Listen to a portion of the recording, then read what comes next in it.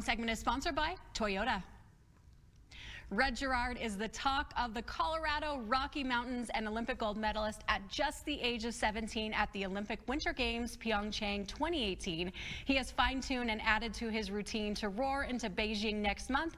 And as Christine Kim tells us, the Colorado resident says what he accomplished in the last Winter Games is nothing compared to what he has planned for Beijing.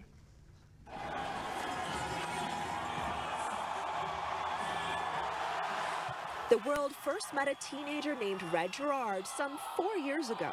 And the kid from Silverthorne is in gold medal position. Red had been snowboarding his entire life. At just 17 years old, he became the youngest American male to win an Olympic winter gold medal since 1928. The first time it was such a surprise, and I wasn't really ready for it. And this time around, I just I want to go there knowing how the Olympics work. Turn the clock ahead, and now the 21-year-old is the darling of the Colorado Rocky Mountains. Every day I go snowboarding, I'm just looking to have fun and make snowboarding look fun. We caught up with Red on a cold, snowy day in Silverthorne, Colorado, where he took over a section of next door farmland to create Red's backyard. Red's four brothers and two sisters enjoy their time together in this winter wonderland, which has become legendary in these parts of the mountains.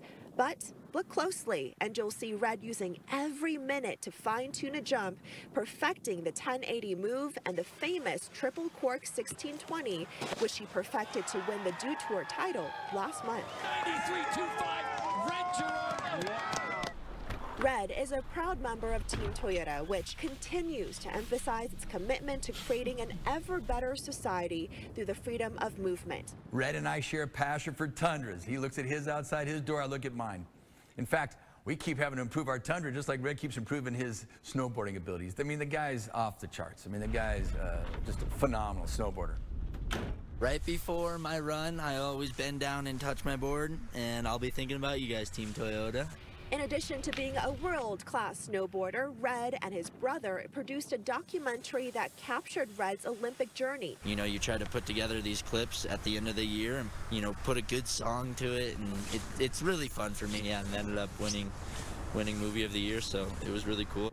Red says the key to his success is his total enjoyment of the sport. When he competes, it's just him, his snowboard, and the mountain. Then the magic happens. What I'm trying to do is really just feel good on my snowboard and make sure I'm snowboarding to the best of my ability. So get ready, world.